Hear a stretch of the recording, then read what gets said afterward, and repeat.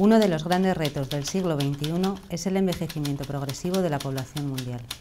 Entre los años 2015 y 2050, el porcentaje de los habitantes del planeta mayores de 60 años pasará del 12% al 22%.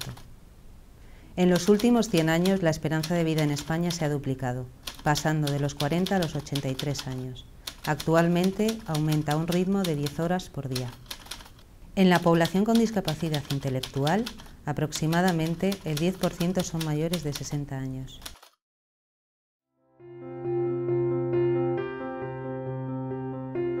La vida de ser hermano es algo curioso. Desde los primeros años de mi vida, desde nuestros familiares y seres queridos, nos ayudan a vivir la vida al máximo, porque nos quiere, porque nos quiere y que seamos felices. Desde pequeños tenemos experiencias nuevas a diario. Los primeros pasos, las primeras caricias, eh, el primer día de escuela, el primer amigo, las primeras pisadas en la playa, el primer amor, el primer trabajo y también vamos, dejando a la, a la, gente. Encuentro y desencuentro. Vamos creciendo y teniendo experiencias nuevas. Pero ¿qué, ¿qué, pasa cuando nos hacemos mayores? Parece que tenemos que dejar de hacer ciertas cosas, porque es lo que nos espera de nosotros. Porque nos han hecho ver esto la vida es maravillosa y sorprendente. Y por supuesto, no se acaba ni a, los 50, 60, 70 o 80. Envejecemos en el momento que nacemos. Vivir es envejecer y, y envejecer es vivir. Yo creo que hay muchas maneras de envejecer. Puedes quedarte quieto y mirar cómo pasa la vida.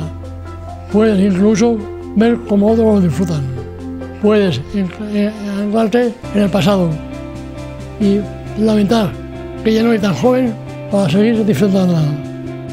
Y también puedes recordar las experiencias que has vivido y vivir otras nuevas.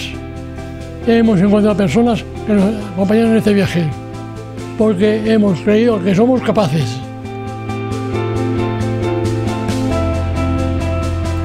Me llevo un poco al camino y mi vida es emocionante.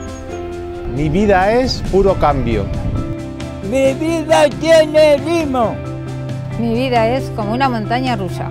Mi vida es fenomenal. Mi vida es compartir con mis amigos. Mi, vida es seresate. Mi vida es serenidad y felicidad. Mi vida es tranquila y feliz.